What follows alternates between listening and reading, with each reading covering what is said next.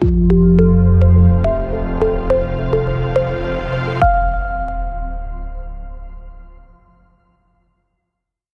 to Lean Six Sigma Green Belt training uh, measure phase. Uh, on the last video, I presented you how to create a data collection plan. And now uh, it's a moment when you have a data in front of you. Uh, so you have a data in Excel spreadsheet, for example, and uh, based on the project objectives uh, and based on the data collection plan, uh, you have a data, uh, raw data. And now is a moment when we need to look at the data and present them uh, so they are more um, valuable for us and for our project, for our customers as well. So please use very simple um, Excel functions here. Um, you can start with the minimum and maximum. So if you can select all the data you collected and choose minimum uh, function in Excel and later choose maximum value in Excel. So you will see what's the minimal value and maximum value.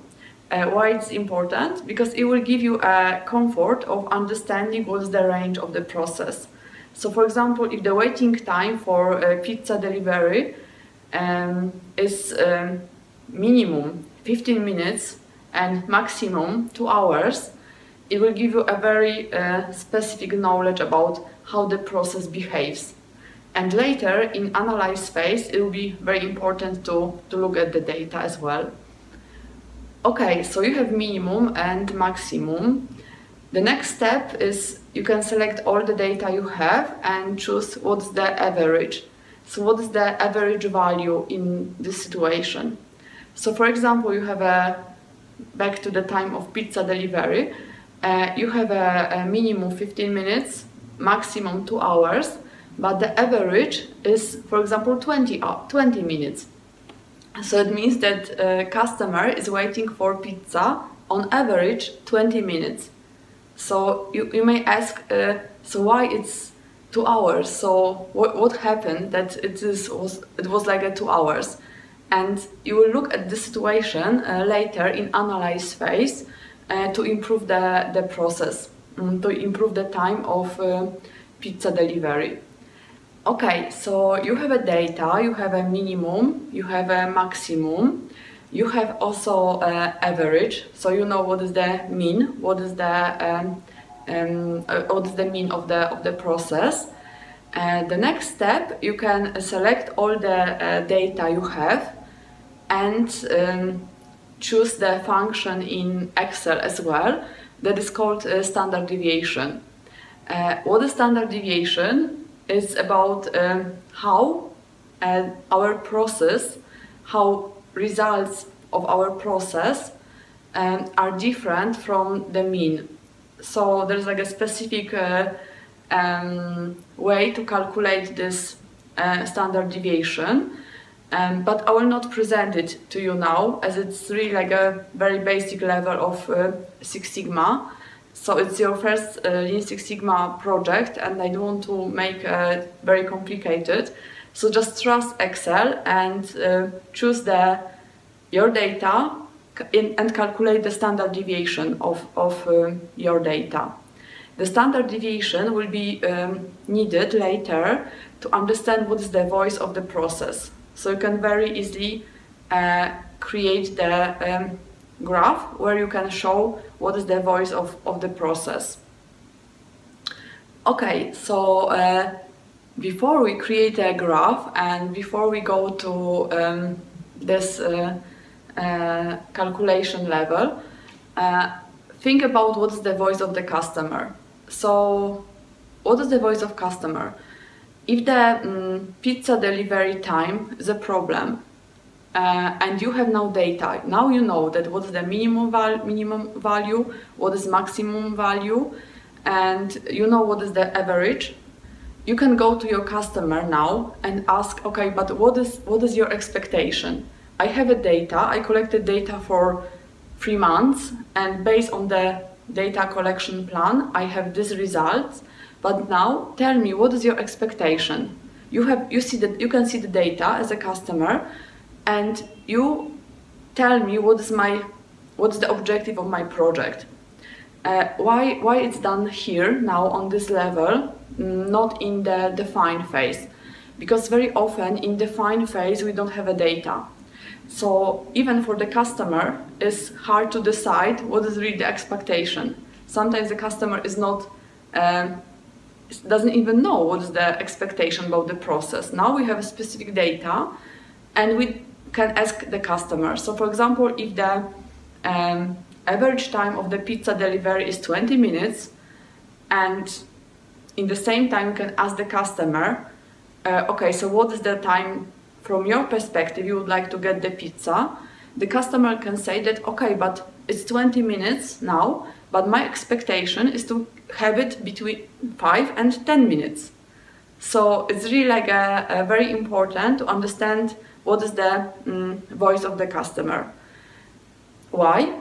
Because later I will show you how to compare the voice of the customer with the voice of the process. And looking at this data, you have a comfort.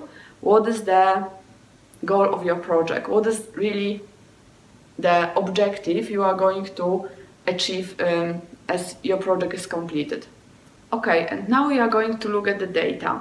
So I'm going to show you a very simple example how to uh, present the data, how to create like the voice of the process and how to add the voice of the customer to the to the graph. Okay, so let's uh, think let's think that um, on the project charter we have an objective related with the um, pizza delivery time. So we want to decrease time spent on the pizza delivery to the customer. Uh, we created a data collection plan. Uh, based on uh, the data collection plan, uh, we measure the data for three months. Uh, so how much time uh, the customer was waiting for each order. And um, it was about re one restaurant. So the delivery was from one specific restaurant. We measured um, the um, time in minutes per one pizza. Uh, we measured the number of pizza per, per, per day as well. And what we also um, measure was the type of pizza. So we defined uh, four types of pizza and uh, we measure the data about those specific four types of uh, pizza. Uh, now we have a data, we have Excel spreadsheet when you can see all the data we collected. And now um, I'm going to select all the uh, data in Excel. Uh, I'm going to calculate minimum value. I'm going to calculate maximum value and as well average and standard deviation. So please look at the data. Now you have a, a not only data, but some information about what, what the data um, are about, what, the, what, are the data specifically. Now um, we are going to create very simple run chart in Excel to see how our data uh, behaves uh, during three months we have and based on the calculations we have, um, we can create the line on the graph, the line that the line that will show us what is the average value. So what is the mean of the of the process. Now uh, we have the mean, and based on the standard deviation calculated, um, we can decide what is the voice of the process. Voice of the process is about lower control limits and upper control limits. Upper control limits and lower control limits are calculated as a free standard deviation. So it means that free standard deviation from the mean, from the, from the line we just created. So now we are going to add two additional lines to the graph and the first line is lower control limit, the second line is upper control limit. Why? Uh, this is a voice of the process, so it, it shows us how the process behaves and what are the limits the process uh, change uh, changes itself.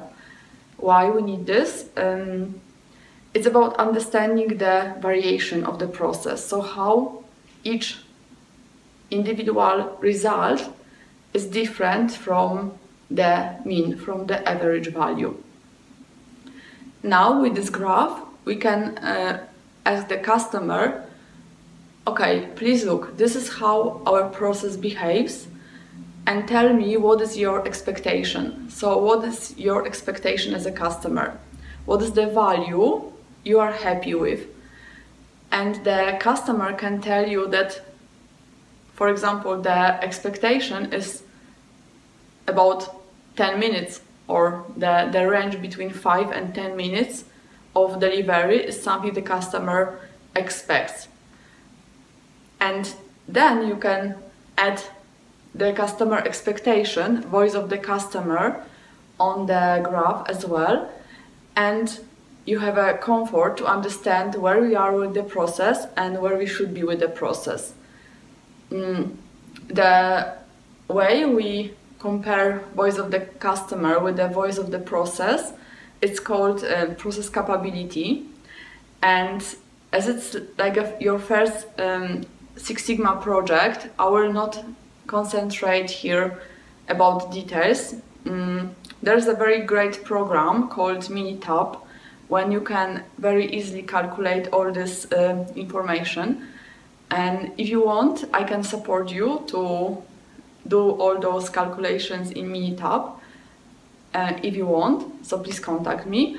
Uh, however, for the first uh, Green Belt project, I just want you to understand the basic rules. So it's better to create the graph by your own, on your own, instead of calculating it in Minitab, because now you have a comfort that you understand how to create the graph and uh, how, to, how, how, how it works in details. Okay, so now we have a voice of the customer, voice of the process, um, and you understand what is the minimum value of your process, what is the maximum, what is the average. Uh, so uh, we are done with this part of uh, measure phase. And the next video is about um, Pareto. Pareto is really like a very powerful tool and it can be used everywhere. So I will show you how to use Pareto uh, chart in your project. Mm, so thank you very much and please create your voice of the customer and voice of the process graph for your uh, project now. Thank you.